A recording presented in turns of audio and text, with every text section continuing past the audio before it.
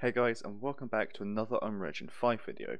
In this one we're going to be going through and looking at the city from the Matrix Awakens demo that Epic Games released a while back and if you've seen that video you'll have seen how good this looks and they've now let us download this project ourselves so we can have a look at it too.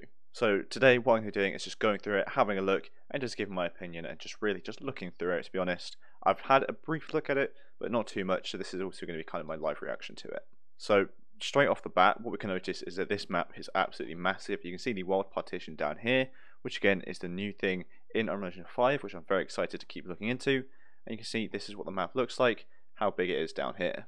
And you can also tell that this just does look absolutely amazing. This is what's loaded in so far. Obviously, I haven't loaded everything in because my PC would not be able to handle that, but this is what it is.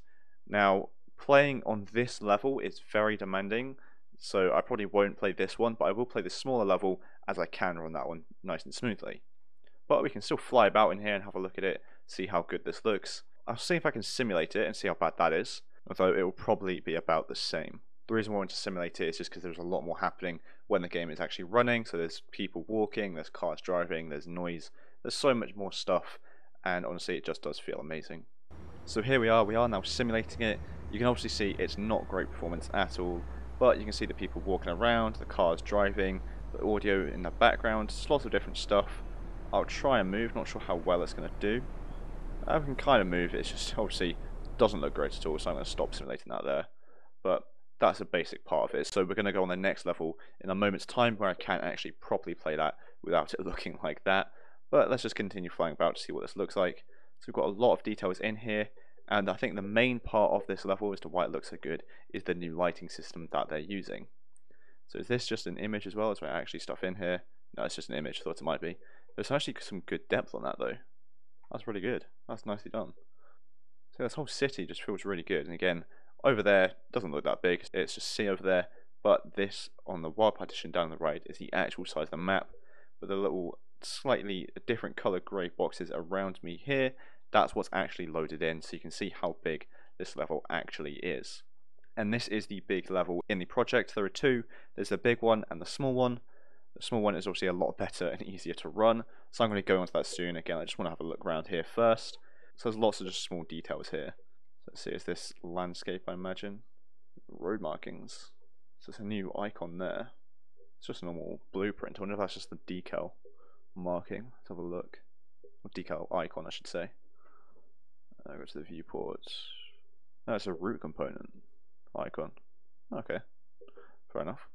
Yeah, you can really see kind of the ray tracing, the light bouncing off these puddles here, all the reflections. Does look really good. You can see the sun over there. Honestly, it looks absolutely amazing. But let's go on to the next level so we can actually have a proper play around with it. And that's the small city level here. So we're now in the smaller level, which is pretty much, it's very similar to the other one, just obviously on a smaller scale. So this is what we've got so far. Again, you can see the whole level isn't even loaded yet, but you can see how much smaller it actually is. Still relatively big though. Uh, so with this one, I am actually just going to play and see what this one's like. So here we are. This one looks pretty good as well. Obviously, you can see people actually walking, the car's driving out, and this one's a lot smoother. So let's have a look at the menu. Alright. Oh, I'm going to dismiss controls there. And we can just have walk about. Again, you can see all the reflections on the floor. Absolutely amazing cars driving by, people, all the ambience as well. Now this still isn't the smoothest thing. Let's actually have a look at what frames I'm getting. But it's better than the other one. Stats FPS, is that different now? Oh, stats, not stats. So I'm getting about 25, 20 to 30 frames really. Not the worst. Could be a lot better though, but it also could be a lot worse. I believe this car I put in myself. Yes, I did. So I put in this car that you can drive um, and there is actually some pretty good crash physics as well, which I think we did see previously when the actual kind of demo released ages ago that we could just see. But this one we can actually drive ourselves. The game has frozen, there we go. So again, not the best. I think as I'm driving, I'm going pretty quickly, so it's having to load and unload stuff quite quick as well, which is why it's a bit more laggy while I'm driving. So I'm probably not going to drive too much. What I might do is just crash into something then get out of the car. Just quickly turn around. Go over here, just bring up a quick look. And there you go, you can see. It lagged a bit as I went in, but there's some good physics there on that. Again, it just looks really cool, I think. So let me just get back over to where I just was. and then get out of the car just to walk about that kind of plaza area where we just were. So as this is already loaded here, it's not too laggy. Let me just get out. I like the animations for getting in and out of the car as well, that's really good. So here we go. So let's just have a walk about here. And we can fly, but that's not flying the character, that's just flying the camera about as we were before, but obviously in an actual simulated world this time. So let me remove the FPS. There we go. Obviously you can see how much nicer this looks. Let's actually go full screen. I mean, it just it honestly does all look absolutely amazing. And this is just a demo project that they've released for us. There's not really any gameplay here. It's just to walk about, experience the world of the Matrix Awakens demo that they made ages ago. All the animations in it look absolutely amazing. I believe these are all meta-human characters. Even the people just walking about, the AIs as well, are also meta-human. Let's just go over here, have a look. Oh, it's a bit laggy. There we go. There you can see, these are just metahumans as well, waiting to cross the road. Let me actually fly about in the camera, have a little look about. Let's just fly to see where everything is. Right, can I see my character? No, they've disappeared. Okay, so I wonder if this actually take my character over there as well. Ooh. Okay, this is slightly laggy. This might not be the best thing to watch, I'm very sorry if it's not. But I thought this still might be quite interesting just to have a look about. Because I'm also on a pretty high-end PC, so I can't imagine what this is like on lower-end PCs. So let me just actually stop flying here. Yeah, just take my character as well. Cool. So I'm noticing the further out from the city centre I go, or to where I spawned in anyway, the laggier it gets. Now I don't know whether it's just because it's still keeping that part loaded in while loading in more down here, or whether it's just less optimized, I don't know. But yeah. Once notice the ambience in the audio, the background they use isn't really relative to anything, it's just random stuff. So there is audio as cars go past, but there is also just noises for cars driving past when there isn't actually any cars, which is quite confusing, but you know, that's only one tiny detail. Let's just continue walking about. What I might do is stop playing this.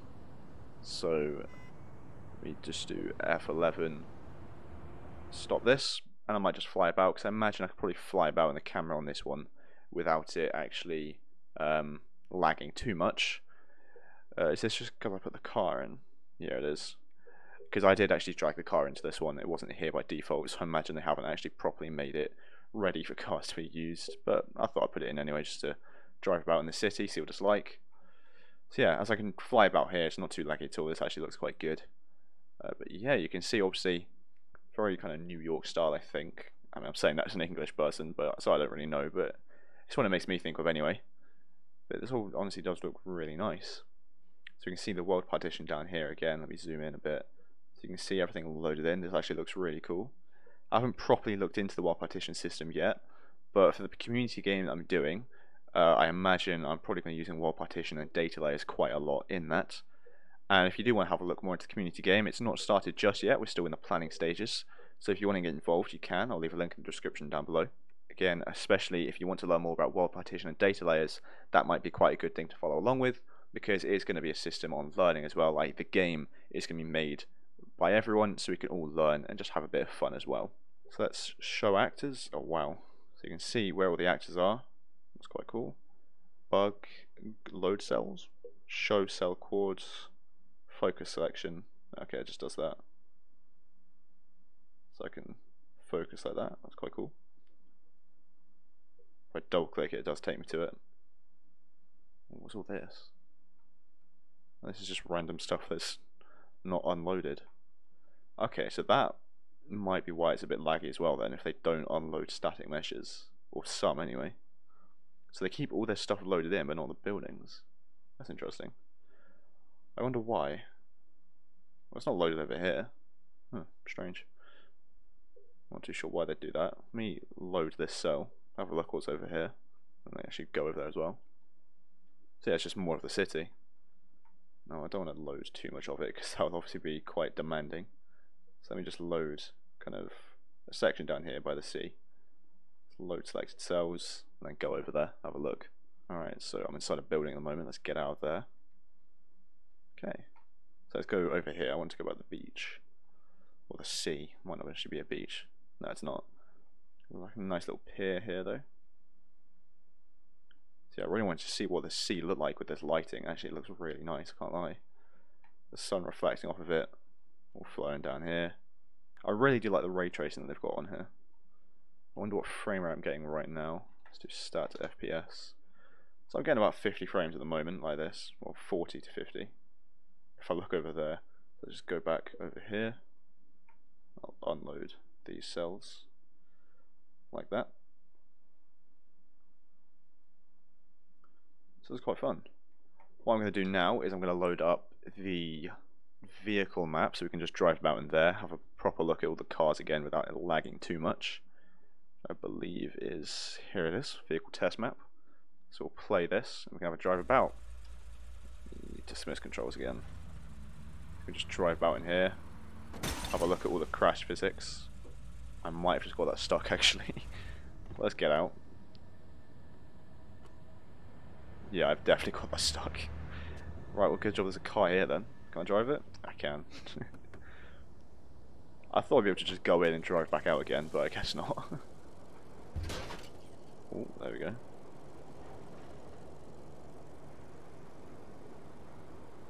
Okay, so the character's not animated for turning, but they animated going in and out. I didn't think it was good.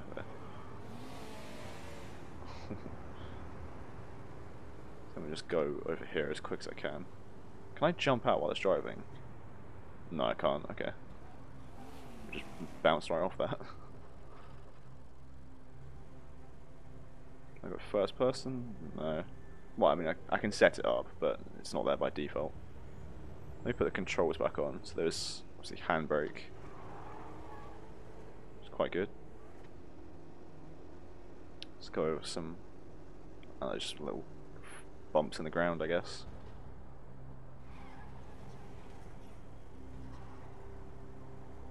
Some slopes. You can just go up and drive off.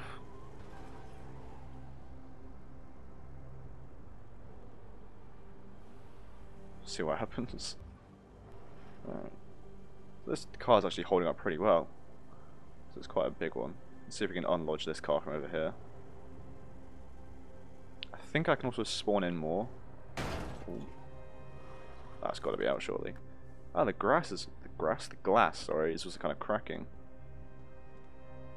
Sort of. so let's drive. Yeah, there we go. Right. So if I press one, yeah, this one's a new car. Oh, there's quite a few different cars actually.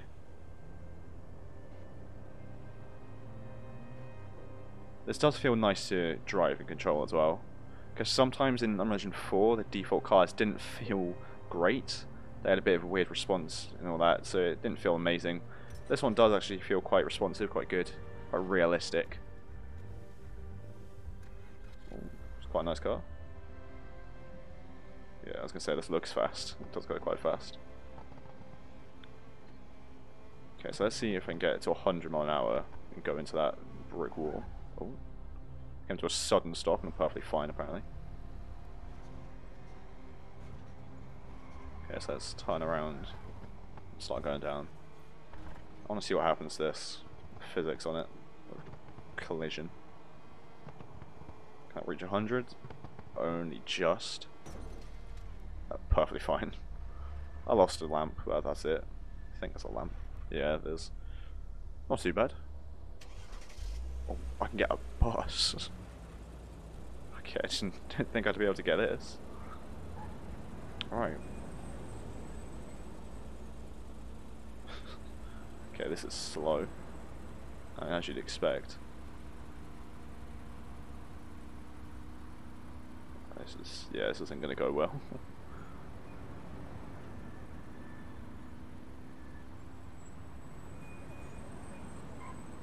I might even make up there. No, definitely not. Maybe. No, I'm not gonna make that.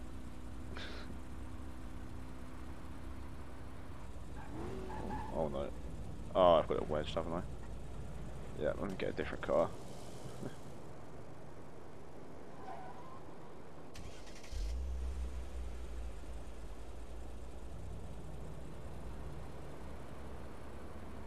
so let me try going up here.